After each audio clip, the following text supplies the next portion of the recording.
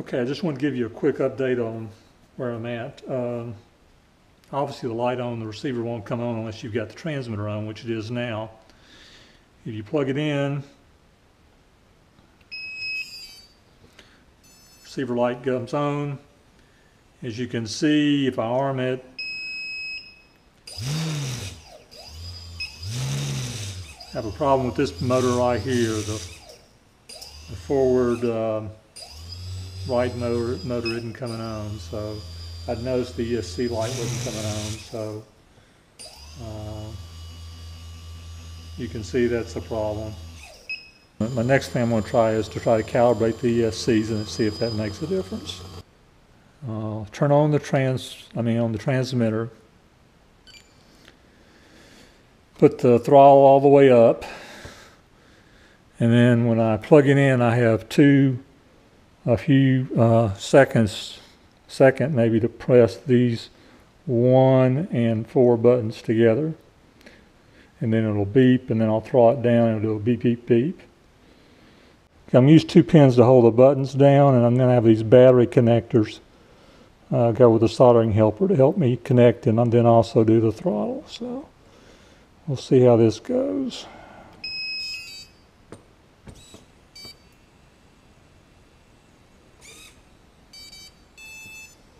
And that's it.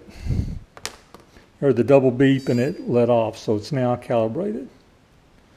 Now we're going to try and see if this makes a difference with the motor here. So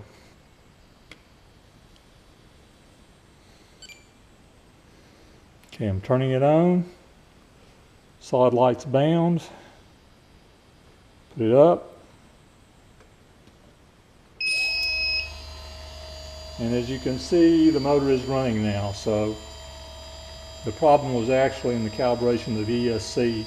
Unless you do that step, sometimes the motor doesn't actually run. Okay, I'm getting ready to do my maiden. I've uh, done a few things. I've gone ahead and attached the propellers. I went ahead and looked at balancing all those in these HQ uh, 9x5 thin electric. Every one that I checked, which were six blades, were balanced. So that's good. I had some uh, Gemfan and they had uh, had to be balanced. So uh, these HQ seem to be really, really good. I've gone ahead and uh, programmed my transmitter uh, I'll just turn on and show you. Basically, I put an expo on um, those particular ones. Turn in, you can see I've got it here, and you can go to uh, uh, second setting, and basically for all aileron, uh, elevator, and rudder, I've made the first position, the zero position on the DX8 at 45. Um, then if I go to position, I get used to these, uh, position one, I've got 25, and then position three uh, is at 100. So I'm going to start off at 45. I'm going to try these uh, four cell 3300s. This is a Glacier. I've also got a, a Lumenier.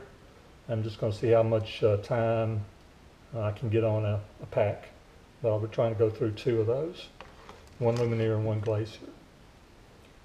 Uh, I'll try to do some video and hopefully we'll, this will go well.